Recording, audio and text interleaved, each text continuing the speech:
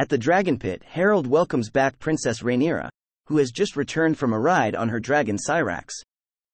When Rhaenyra asks him not to look so relieved, he responds that he is relieved every time her golden dragon brings her back unharmed as it saves his head from a spike. He escorts the carriage the princess and Alicent Hightower travel in back to the Red Keep.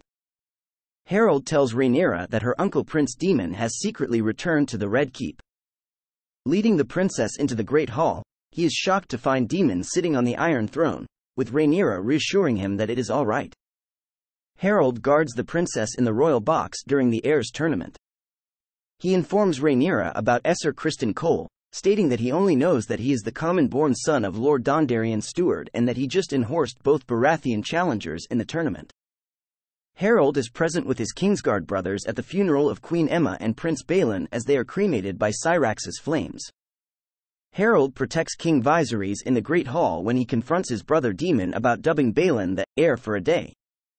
He draws his sword and moves to block Daemon's path when he tries to step toward the king seated on the Iron Throne. Harrold is present with his Kingsguard brothers at the ceremony naming Rhaenyra as Princess of Dragonstone and heir to the Iron Throne.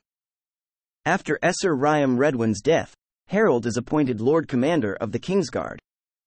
This article is a stub, an article too short to provide more than rudimentary information about a subject.